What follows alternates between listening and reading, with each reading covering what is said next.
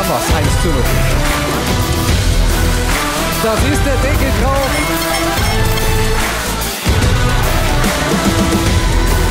2-0.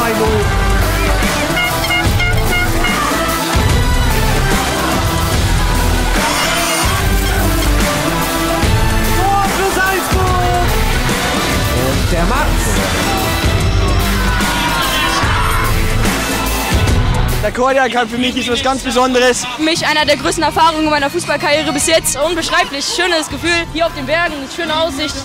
Drei tolle, tolle Tage, wunderbares Abschlussfinale, überragend.